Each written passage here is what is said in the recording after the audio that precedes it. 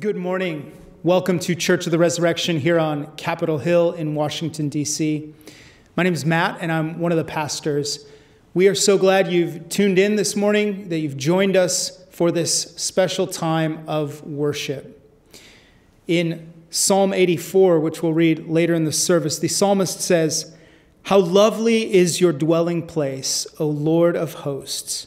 My soul longs, yes, faints for the courts of the Lord. My heart and flesh sing for joy to the living God. And we do long for God to be in his house, to enter into his presence, to worship him with mind, body, and spirit. And that's what we're here to do this morning. Will you please stand with me if you're able? And let's say together the opening acclamation Blessed be God, the Father the Son, and the Holy Spirit. And blessed be his kingdom, now and forever. Amen. Now, please join me in saying together the collect for purity in worship. Almighty God, to you all hearts are open, all desires known, and from you no secrets are hid. Cleanse the thoughts of our hearts by the inspiration of your Holy Spirit that we may perfectly love you and worthily magnify your holy name through Christ our Lord. Amen. And now let's sing together praises to our God and King.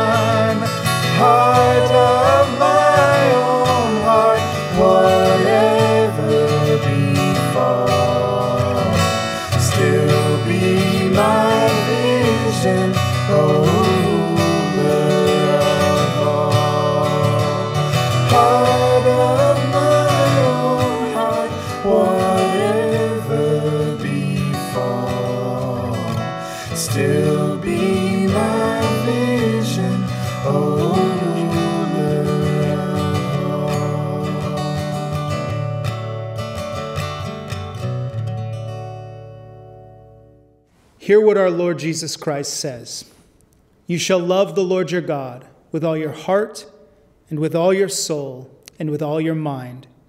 This is the first and great commandment. And the second is like it You shall love your neighbor as yourself. On these two commandments depend all the law and the prophets.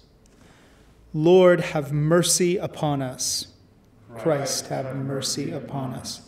Lord, have mercy upon us. Now I invite you to kneel or be seated as you are able.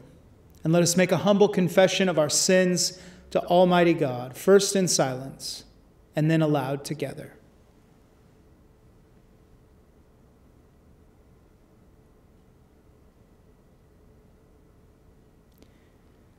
Most merciful God, we confess that we have sinned against you in thought, word, and deed, by what we have done and by what we have left undone. We have not loved you with our whole heart. We have not loved our neighbors as ourselves. We are truly sorry and we humbly repent. For the sake of your Son, Jesus Christ, have mercy on us and forgive us, that we may delight in your will and walk in your ways to the glory of your name. Amen. Almighty God, our heavenly Father, who in his great mercy has promised forgiveness of sins to all those who sincerely repent and with true faith turn to him, have mercy upon you, pardon and deliver you from all your sins, confirm and strengthen you in all goodness, and bring you to everlasting life through Jesus Christ our Lord. Amen. Please stand and hear these words of assurance. Our Lord Jesus Christ says, Come to me, all who labor and are heavy laden, and I will give you rest.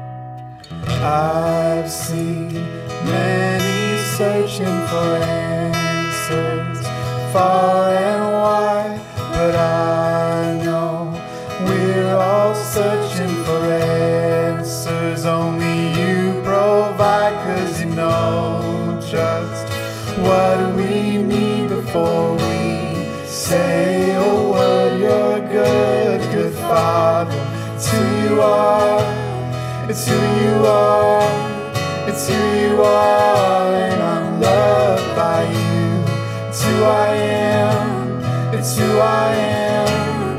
It's who I am. You are perfect in all of your ways. You are perfect in all of your ways. You're perfect in all of your ways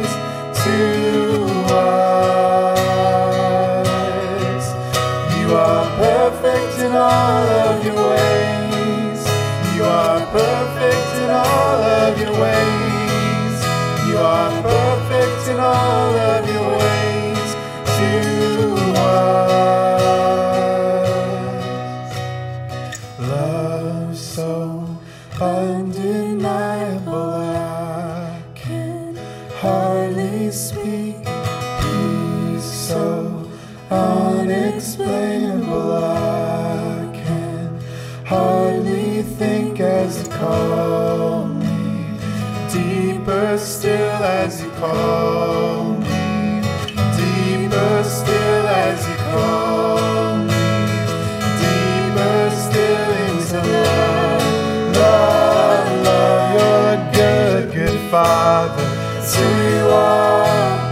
It's who you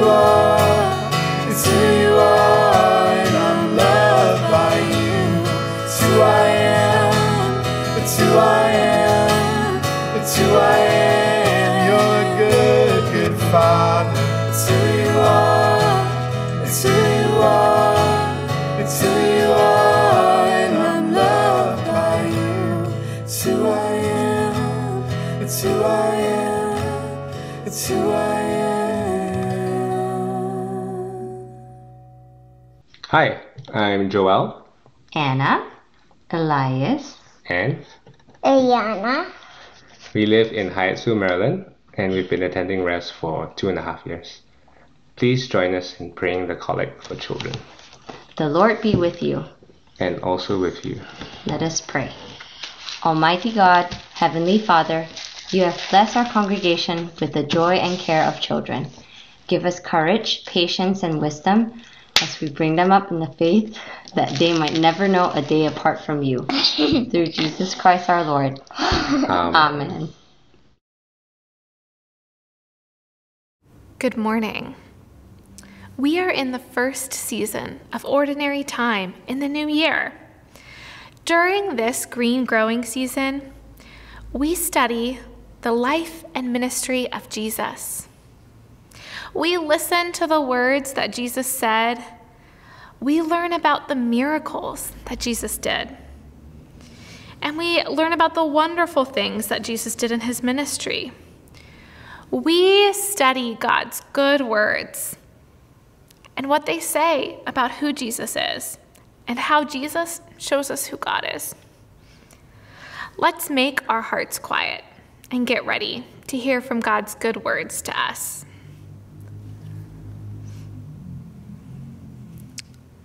Jesus' disciples were coming home. They had been out in the villages, healing the sick, casting out demons and unclean spirits, and proclaiming the good news of the kingdom of God. They were very tired. So Jesus said, Let's go to a quiet place where we can rest. Now, a big crowd saw Jesus and his disciples leaving, and they ran after them. When Jesus saw this crowd, they seemed like a sh- sheep without a shepherd. So instead of asking them to leave, Jesus healed them and he taught them the way of the kingdom of God. For the whole day, Jesus taught and spoke the word of God.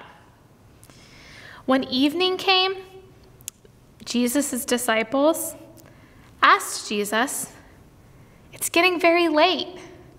Can we send the crowd away so they can go to the villages and buy themselves some food to eat. But Jesus answered, You feed them. But the disciples did not have enough food, and certainly not enough food for a huge crowd. One of the disciples said to Jesus, Did you know that it would take a whole year's wages just to buy a little bit of bread for each of these people? What do you have? Jesus asked. Andrew, who was one of the disciples, said to Jesus, he spoke up and he said, There is a boy here. He has some food.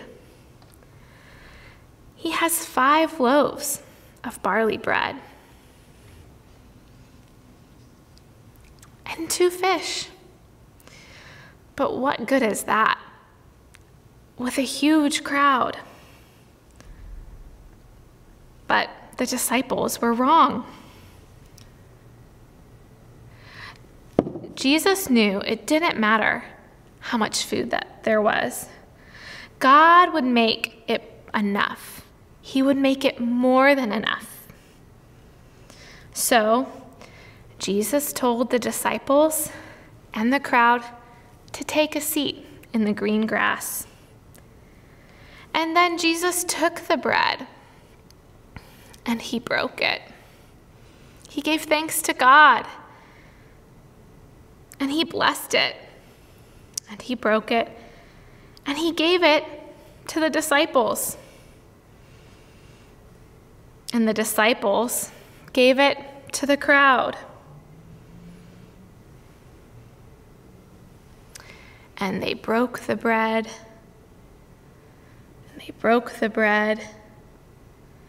And there was more and more bread as the bread kept breaking. And soon, all the people in the crowd ate, and they were full. And there was even bread left over. He did the same with the fish. He blessed it, he gave thanks to God for it, and he broke it. And as the disciples gave the fish to the crowd, more than 5,000 people had eaten.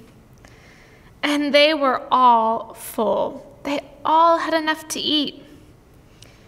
And then Jesus said to his disciples, Gather the pieces that are left over, let nothing be wasted. So they gathered them up and they filled 12 whole baskets with the pieces of bread that had come from five barley loaves and two fish. And the crowd looked at one another and they said, Surely this man is a prophet who has come into the world. And they wanted to make Jesus their king. And Jesus, who knew that the crowd wanted to come and make him king by force, decided to slip away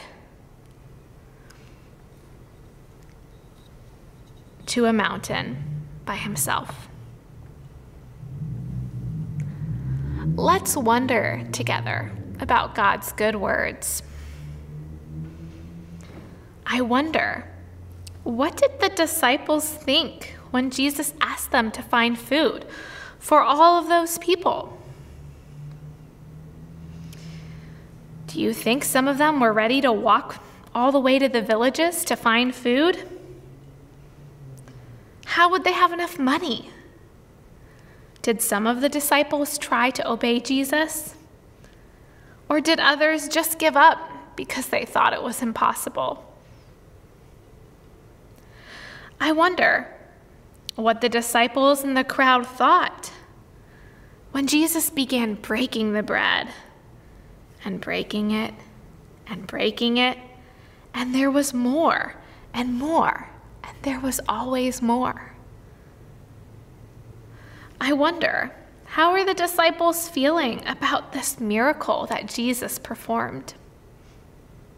I wonder how the crowd feels. Jesus knew the one who made all the fish in the sea. Jesus knew the one who, at the beginning, made everything out of nothing at all.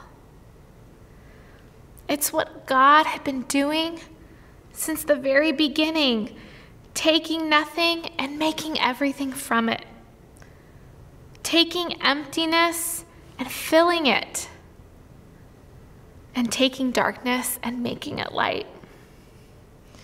Jesus did many things like this, and we call them miracles. They were things that people thought couldn't happen, they weren't natural. I wonder, what does this miracle show us about who God is? I wonder what this miracle shows us about who Jesus is. I wonder why did the crowd want to make Jesus their king? I wonder why did Jesus slip away from the crowd? Let's pray together. Father God, thank you for being a God who is so powerful, you can create everything out of nothing. Help us to have faith in Jesus, that he can take our small offerings, like the boy's bread and fish, and by his power multiply them for his kingdom. In the name of the Father, and the Son, and the Holy Spirit. Amen. The Lord be with you. And also with you. Let us pray. O God, you know that we are set in the midst of many grave dangers, and because of the frailty of our nature, we cannot always stand upright. Grant that your strength and protection may support us in all dangers and carry us through every temptation. Through Jesus Christ our Lord who lives and reigns with you and the Holy Spirit, one God, forever and ever. Amen. Our psalm this morning is from Psalm 84. We'll read it together responsively by whole verse. How lovely is your dwelling place, O Lord of hosts! My soul longs, yes, faints, for the courts of the Lord. My heart and flesh sing for joy to the living God. Even the sparrow finds a home, and the swallow a nest for herself, where she may lay her young at your altars, O Lord of hosts, my King and my God. Blessed are those who dwell in your house, ever singing your praise. Selah. Blessed are those whose strength is in you in whose heart are the highways to Zion. As they go through the valley of Baca, they make it a place of springs. The early rain also covers it with pools. They go from strength to strength. Each one appears before God in Zion. O Lord, God of hosts, hear my prayer. Give ear, O God of Jacob. Selah. Behold our shield, O God. Look on the face of your anointed. For a day in your courts is better than a thousand elsewhere. I would rather be a doorkeeper in the house of my God than dwell in the tents of wickedness. For the Lord God is a sun and shield. The Lord bestows favor and honor. No good thing does he withhold from those who walk uprightly. O Lord of hosts, blessed is the one who trusts in you. Glory be to the Father, and to the Son, and to the Holy Spirit, as it was in the beginning, is now, and ever shall be, world without end. Amen. Our New Testament lesson this morning is from the Gospel of Mark, chapter 2, verses 1 to 12. And when he returned to Capernaum after some days, it was reported that he was at home.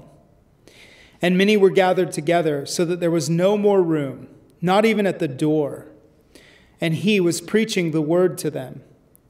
And they came, bringing to him a paralytic carried by four men. And when they could not get near him because of the crowd, they removed the roof above him. And when they had made an opening, they let down the bed on which the paralytic lay. And when Jesus saw their faith, he said to the paralytic, Son, your sins are forgiven. Now, some of the scribes were sitting there, questioning in their hearts, Why does this man speak like that? He is blaspheming. Who can forgive sins but God alone? And immediately Jesus, perceiving in his spirit what they, that they thus questioned within themselves, said to them, Why do you question these things in your hearts? Which is easier to say to the paralytic, Your sins are forgiven? Or to say, Rise, take up your bed, and walk? But that you may know that the Son of Man has authority on earth to forgive sins, he said to the paralytic, I say to you, Rise, pick up your bed, and go home.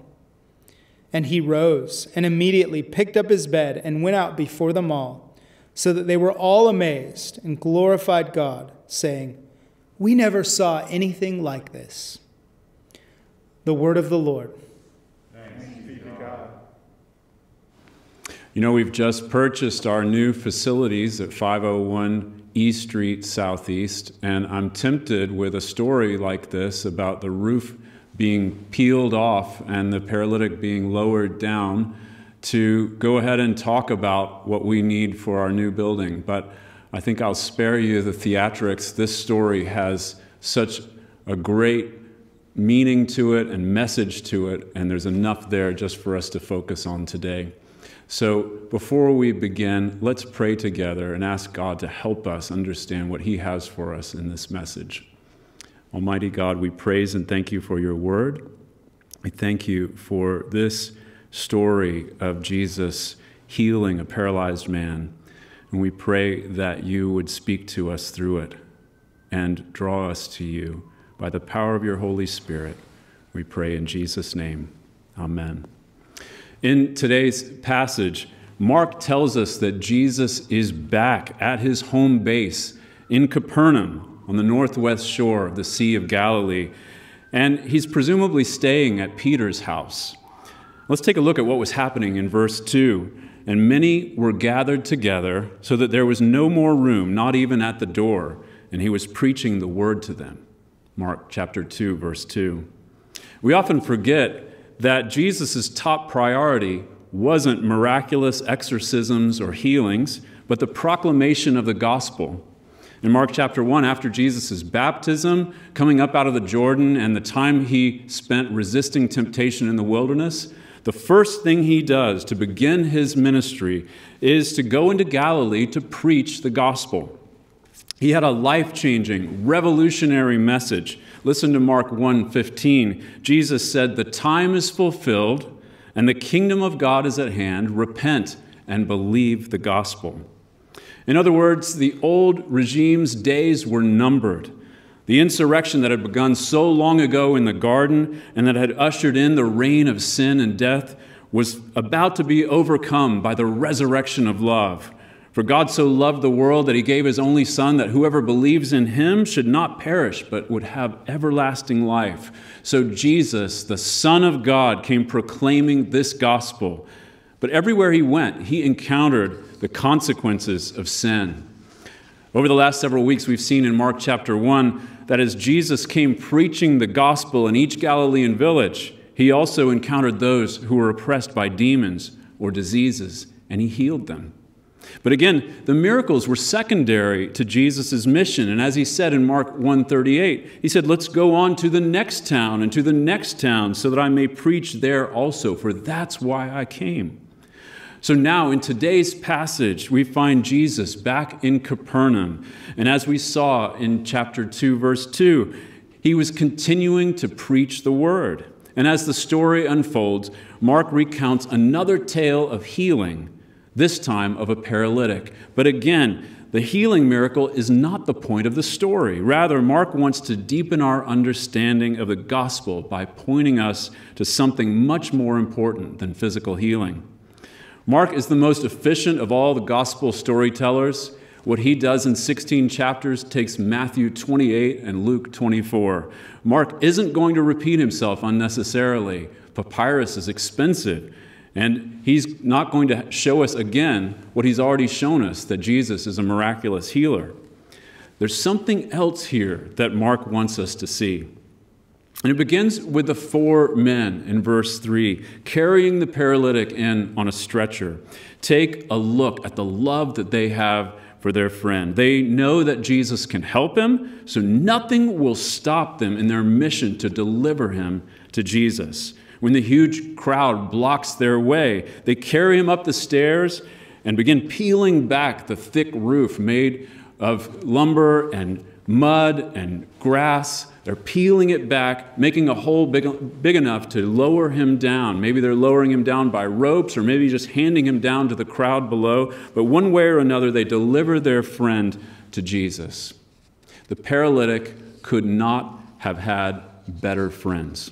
And what a timely picture of true friendship this is for us right now in these dark days, lonely days of the pandemic. We've never been more isolated from one another. We need deep, solid friendships to get through this. And it's often said that if you want a friend, you have to be a friend. Well, here's a compelling demonstration of the best kind of friend and how to be a friend like that. A true friend is someone who, like these fellows, someone will help you get to Jesus, someone who will carry you to Jesus if need be, even if you're too hurt to go yourself. You may be watching today because of friends like these. Maybe sometime in the past they carried you to Jesus, or maybe there are friends right now who are carrying you to Jesus. If you have believing friends like these, you are blessed, greatly blessed, richly blessed. This, in and of itself, is a compelling and vivid sign of God's love for you. Don't take such friends for granted, and don't stop them from demonstrating their love let them carry you to Jesus. God also may be calling you to be such a friend. There may be someone whom God has placed on your heart, but maybe you felt like you don't have too much in common with them. Well, shared experiences and interests can build a good friendship, but they aren't prerequisites. All that's needed is love. And Jesus said, Greater love has no man than this, that he lay down his life for his friends. Jesus is the best friend that ever was. And when you carry someone to Jesus, soon you'll find that you have the most important thing in the world in common together and the best possible foundation for a friendship. There's also an important corollary to this story, and that has to do with the teamwork that we see with these four friends. Often a person is hurt so badly that you just can't carry them to Jesus by yourself. But if you'll join with other believing friends, you very well may discover that the team is able to do what you can't do by yourself in delivering your friend to the Lord. Now, another wonderful thing about these friends is that they were undoubtedly wrong about the paralytic's greatest need.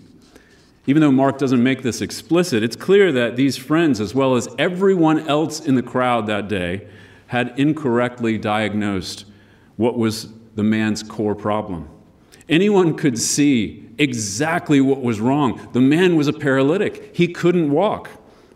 And so these four men brought him to Jesus so that his legs could be healed, so that he would go from broken to healthy, so that he might go from useless to useful, so that he would no longer be a burden to others, but instead would become valuable and productive.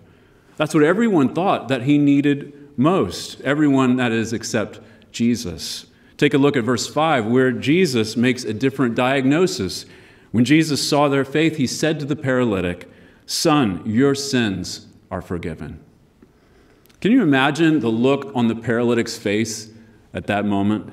And how he must have been feeling as he had been jostled and bounced all the way up onto the roof, lowered through the hole, in the spotlight with everyone looking at him, lowered all the way down to the ground. He might have been wondering the day before how things could get any worse. Well, now, this is how. But again, Jesus' highest priority was proclaiming the gospel of his kingdom. That's what he'd been talking about with the crowd before the man came down through the roof.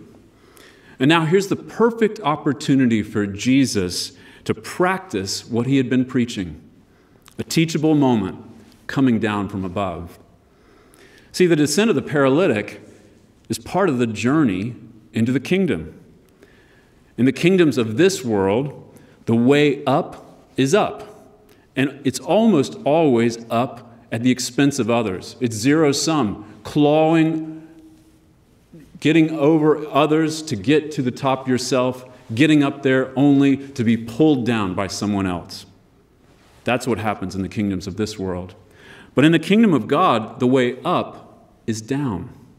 To enter God's kingdom, you must first experience the death of repentance before you can be raised to new life.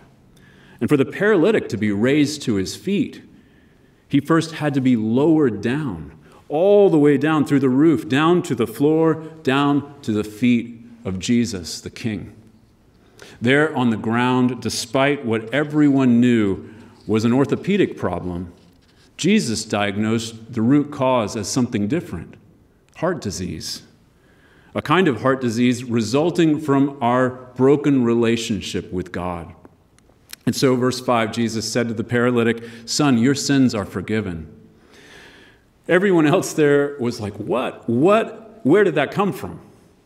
But for Jesus, he was simply demonstrating the same gospel that he had been proclaiming, that he had been delivering to everyone in the crowd, and by extension, delivering to all of us. Because, like the paralytic, we all suffer from the same core problem the same kind of heart disease resulting from our broken relationship with God.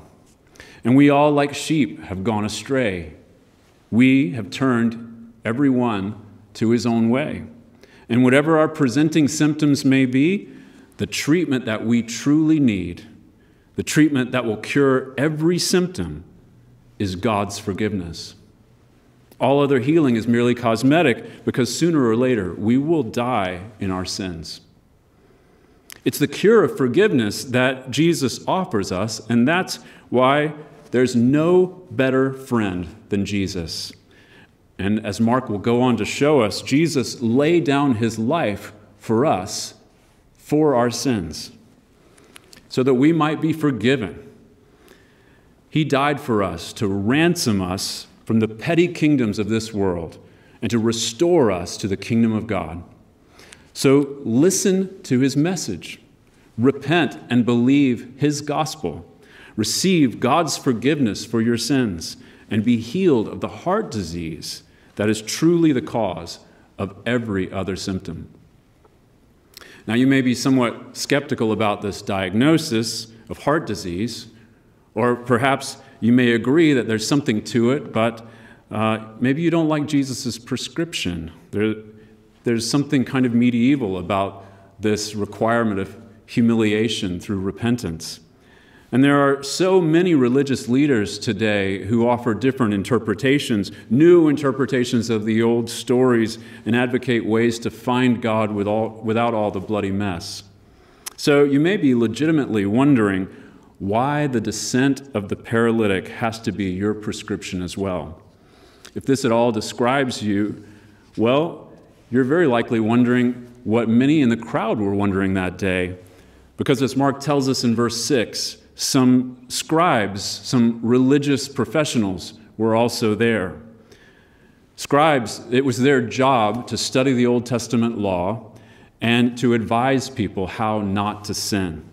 And these scribes evidently weren't convinced that Jesus' message was helpful or that his miracles were real. They were rather quite skeptical about everything that was happening, and everyone else in the crowd knew it. So the crowd was watching them and watching Jesus and wondering who to believe. When Jesus said to the paralytic, Son, your sins are forgiven, the scribes began murmuring, verse 7. Why does this man speak like that? He's blaspheming. Who can forgive sins but God alone?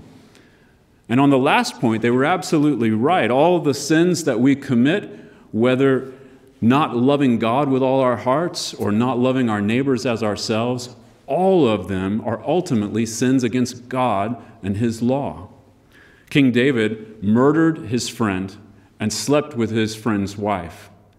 But in Psalm 51, as he confessed all of this to the Lord, he said, Against you and you only, Lord, have I sinned. Ultimately, all our sins are against God. So, in forgiving the paralytic's sins, Jesus was in effect claiming to be God. And for the scribes, that was blasphemy. Unless, of course, Jesus is the Son of God. God in the flesh, God made visible and brought near to save his people. If so, then the forgiveness that Jesus offers isn't blasphemy at all. It's rather the end of the insurrection and the long awaited resurrection of God's kingdom in a way for people to enter into it on earth as it is in heaven. And if Jesus is truly God in the flesh, and his forgiveness is truly the dawning of God's glorious kingdom, then the scribes are mistaken.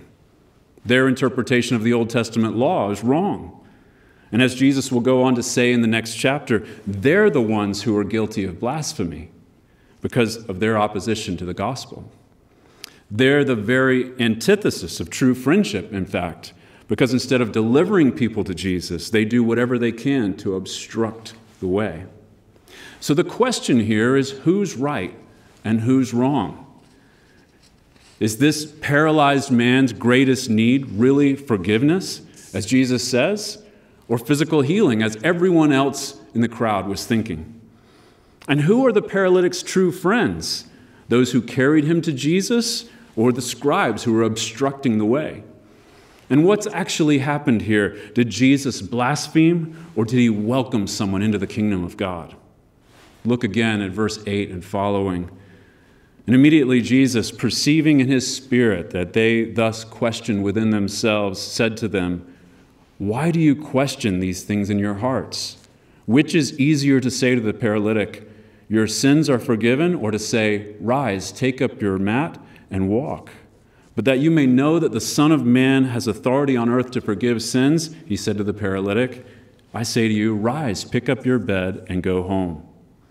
Once again, the miraculous healing is not the point of the story. Rather, it's an outward and visible sign of something much greater and more important. It's evidence not only of this man being freed from bondage to the prince of this world and resurrected into the kingdom of God. More importantly, it's evidence of Jesus being the long awaited Messiah King. He wasn't blaspheming, he was rather giving something that only he could give forgiveness of sins. Through Jesus' own journey, first down into the ground and then back up again to eternal life in the kingdom of God. And it's important that we recognize that Jesus' diagnosis of the paralytic was spot on. Jesus was right, and everyone else there was wrong about what this man needed most. So we can trust Jesus. His words are true. His diagnosis of our condition is exactly right. For years, one of my greatest frustrations was taking our car in for service. There would always be some kind of expensive surprise whenever it happened. I'd drop the car off for an oil change and then wait for the call. And the phone would ring, and the service manager always had this smooth radio voice, would call me by my first name, would share his deep concern for my family, and then he would go on to describe how lucky we were that they had caught, they had discovered whatever the problem was while it was in the shop rather than when my wife and kids were out on the highway. And it was always some essential component that I didn't know about or didn't understand, always something like the flux capacitor. And I could save a lot of money by having them fix it right now for only $999 if I acted fast. But regardless of what was wrong, my dilemma was always the same. Was the situation as dire as he really said? What if I ignored his warning? And then, sure enough, my family ended up stranded, maybe at the top of the Chesapeake Bay Bridge or down inside the 395 tunnel, because that's always where you imagine these things happening. In short, could I really trust this man? Could I trust his diagnosis of our car's condition? Well, thankfully, as many of you know, we've become friends with a terrific mechanic named Husni Al Mansour. He's one of the refugees from Syria that our church has had the privilege of helping. Our families are good friends. We've spent a lot of time together over the last several years, and we've found him to be completely trustworthy. And now, whenever my car needs service, I call up Husni. He comes over to our house. He has a look. He tells us exactly what is wrong, and he fixes it for a fraction of the price. I know every time that Husni will tell me the truth. In this case, that flux capacitors don't really exist. They're only for DeLoreans, they're for time travel, and I really don't need one. But the point is, he's absolutely trustworthy. Honest diagnosis and treatment. It's what we want from a mechanic, from a plumber, from a physician, from a counselor, from a religious professional. It's what we want especially from God. And again, the point of today's story is not that Jesus was a miraculous healer. We already knew that. Rather, the point is that Jesus knows best, better than anyone else. Jesus knows what repairs we truly need. You can't always get what you want. But with Jesus, you do get what you need. His diagnosis is honest and trustworthy, and he's 100% effective in his treatment. Jesus knows best. More than any other friend or relative, counselor or coach, Jesus knows what you need, and if you'll trust him, he will make things right. So, in closing, let's take notice of how everyone responded to Jesus that day. The paralytic, verse 12, not only got what he needed, but also what he wanted as well. Having descended down to the floor, he then rose again, picked up his bed, and walked out of his own accord, healed in both his body and also in his relationship with God through Jesus' forgiveness of his sins. And the crowd also responded in verse 12 with amazement glorifying God and saying, We've never seen anything like it. Another miraculous healing, even greater than what they had seen before. And yet it seems that most of them did not take it further, moving from Jesus' miracles to Jesus' message of the gospel. Because later, Jesus denounces three villages along the northwest shore of the Sea of Galilee, including the village of Capernaum, where this story happened, because these villages had witnessed the miraculous signs that Jesus had done, and yet they did not repent and believe his message. And to this day, some 2,000 years later, those three villages remain in ruins on the shore of the Sea of Galilee. We also learn how the scribes responded to Jesus later on in Mark's story as they eventually conspired together to hand Jesus over for arrest and for torture and ultimately to be crucified. And as Jesus hung dying on the cross, they mocked him, saying, He saved others, but he cannot save himself. Yet that's how he saved others, and that's how he can save you and me. Think about it. All eyes were upon him. He who had no sin, but who was made to be sin for us, lowered down from the cross into the ground for three days, and then resurrected as King of Kings and Lord of Lords forever. No one knows your need for healing better than Jesus who died and rose again. No one is a better friend than Jesus. No one has done more to heal you than Jesus. His message is even more important than his miracles. The time is fulfilled and the kingdom of God is at hand. Repent and believe in the gospel that's the message that he proclaimed. It's the message that he continues to proclaim today. How will you respond to this message from Jesus the resurrected King of Kings. Will you pray with me?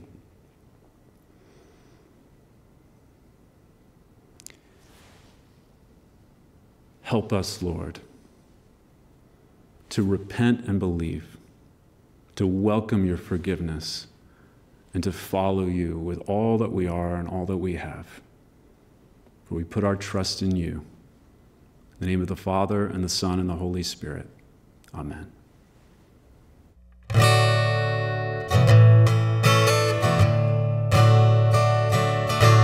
What a friend we have in Jesus. All our sins and griefs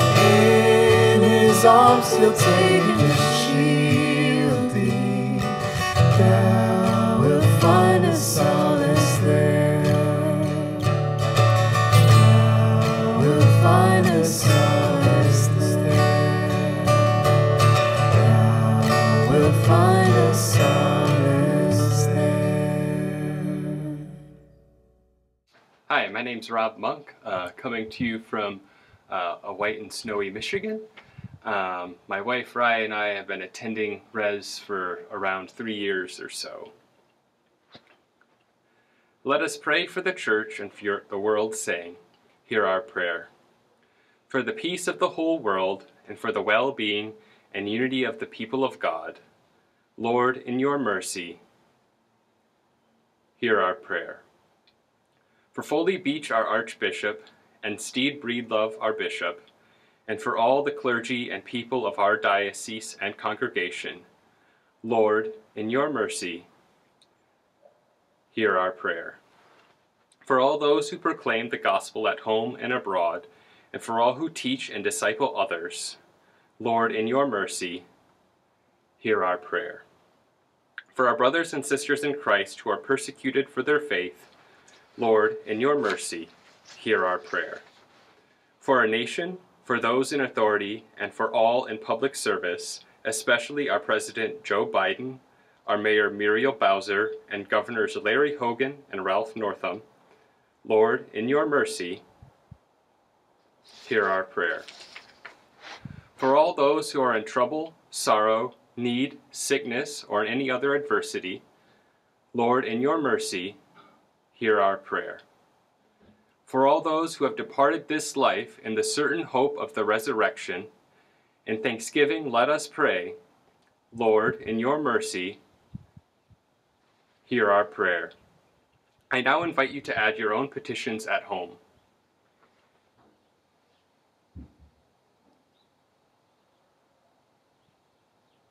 Heavenly Father, grant these our prayers for the sake of Jesus Christ, our only mediator and advocate, who lives and reigns with you in the unity of the Holy Spirit, one God, now and forever.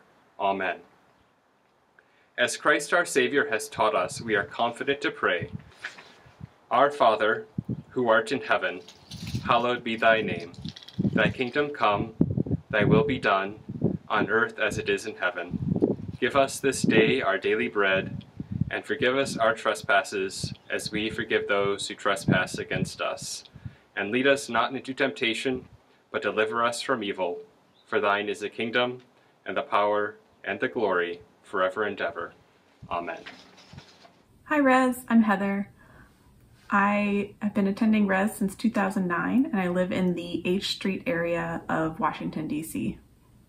Hi, I'm Justin, and I've been virtually attending Rez for nine months, and I live in Fairfax, Virginia. Please join us in making a confession of our faith in the words of the Nicene Creed. We believe in one God, the Father, the Almighty, maker of heaven and earth, of all that is visible and invisible. We believe in one Lord, Jesus Christ, the only begotten Son of God, eternally begotten of the Father, God from God, light from light, true God from true God, begotten, not made, of one being with the Father. Through him all things were made. For us and for our salvation, he came down from heaven, was incarnate from the Holy Spirit and the Virgin Mary, and was made man. For our sake, he was crucified under Pontius Pilate. He suffered death and was buried. On the third day, he rose again in accordance with the Scriptures.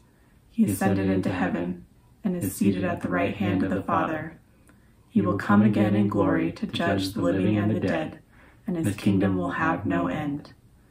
We believe in the Holy Spirit, the Lord, the giver of life, who proceeds from the Father and the Son, who with the Father and the Son is worshipped and glorified, who has spoken through the prophets. We believe in one holy Catholic and Apostolic Church. We acknowledge one baptism for the forgiveness of sins. We look for the resurrection of the dead and the life of the world to come. Amen. Amen. The peace of the Lord be always with you. And also with you. Greet one another in the peace of Christ. We've been encouraging folks to uh, send an email or text message or make a phone call to others in the church as we continue to, uh, for the most part, worship from home. So do take a moment, whether now or later today, and reach out to someone and share God's peace with them. I want to tell, share with you a few announcements about things that are happening in the life of our church. Um, first of all, is next Sunday we will have no in-person service. So next Sunday, February seventh, no in-person service, but you can of course watch us here on Rez TV. We've also uh, got some exciting things coming up with regard to our new building. Uh, on Sunday, February 14th, we will have uh, communion in the park and tours of the new building. We continue to give thanks to God for this new building. We're excited about all the things that are going to happen there uh, over the next months and years to make it our home and a place where we can do great ministry for the Lord Jesus. So sign up online, come along for communion in the park. That will not be at Lincoln Park as we've done it before, but at Marion Park, just across from our new building at 501 E Street Southeast. So it'll be at Marion Park. Communion in the Park, and building tours will take you in small groups to avoid exposure um, and go through the building, show you what it looks like now, and share a little bit about uh, where we think God's taking us with regard to the building uh, going forward. Also, excitingly, we will be having an Ash Wednesday service in our new building on Wednesday, February 17th. There's some information about that on the website, so do sign up for that. What we'll do is we'll have several services throughout the day uh, so that you can come along and be part of one of those. We continue to have morning prayer Monday through Friday on Zoom at 8 a.m. Please do uh, find us through the link on the website, rezchurch.org, and you can tune in at any time. It's about 20 minutes of prayer in the prayer book and 10 minutes looking at a passage from Mark's gospel, just like we're doing here in church. There's also a couple of opportunities midweek for you to get involved in some learning and education. One of them is our Christianity and Race seminar that starts this Tuesday in just two days. You can still sign up. We'd love to have you. There's a, a form you can fill out on our website to jump into that. There's also weekly Rez groups. If you're looking for people to connect with, to find some community, uh, email me, reach out. Love to help you sign up for one of those groups. There's a bunch of buttons on our website as well, and I, I, won't go over all of them, but if you're new, fill out the I am new button. We'd love to hear from you, give you some information about the church, and invite you to our next newcomers gathering. Um, so do, do fill that out and let us know. The other thing that's on our website is our give button. We continue to worship the Lord during this season of the pandemic, and uh, we do that in one way by giving our tithes and our offerings. These go to support not only the ongoing ministry of the church, things like our new building, um, but also our benevolence ministry uh, that we have been uh, doing. We, we gave something like seven or eight times uh, the benevolence giving in 2020 that we did in pr- the previous year.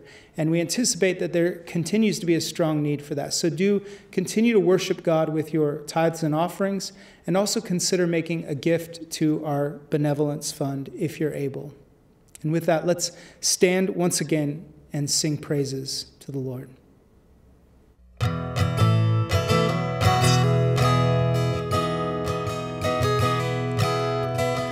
We travel through a barren land with danger stick on every hand. But Jesus guides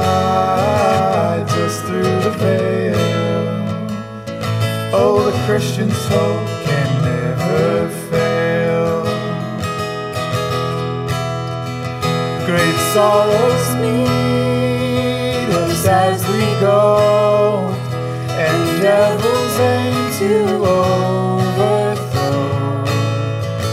But vile infernals can't prevail. Oh, the Christian's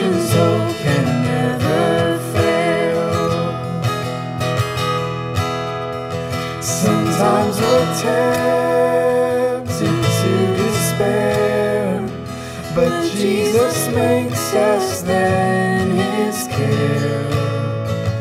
Though numerous foes our souls assail, oh, the Christian's hope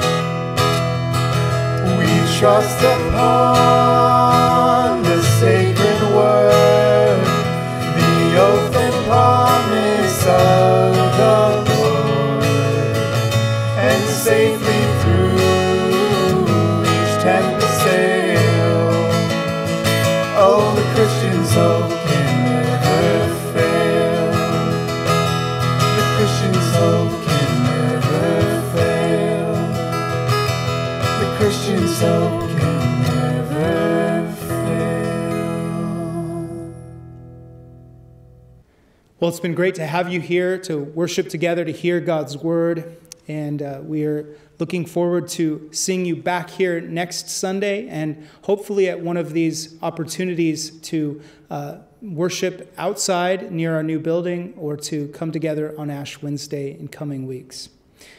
And now, let me send you out with the benediction. All our problems, we send to the cross of Christ. All our difficulties, we send to the cross of Christ. All the devil's works, we send to the cross of Christ. And all of our hopes, we set on the risen Christ. The peace of God, which passes all understanding, keep your hearts and minds in the knowledge and love of God and of his Son, Jesus Christ our Lord. And the blessing of God Almighty, the Father, the Son, and the Holy Spirit be among you and remain with you always. Amen. Go in peace to love and serve the Lord. Thanks be to God. Alleluia, alleluia. Sins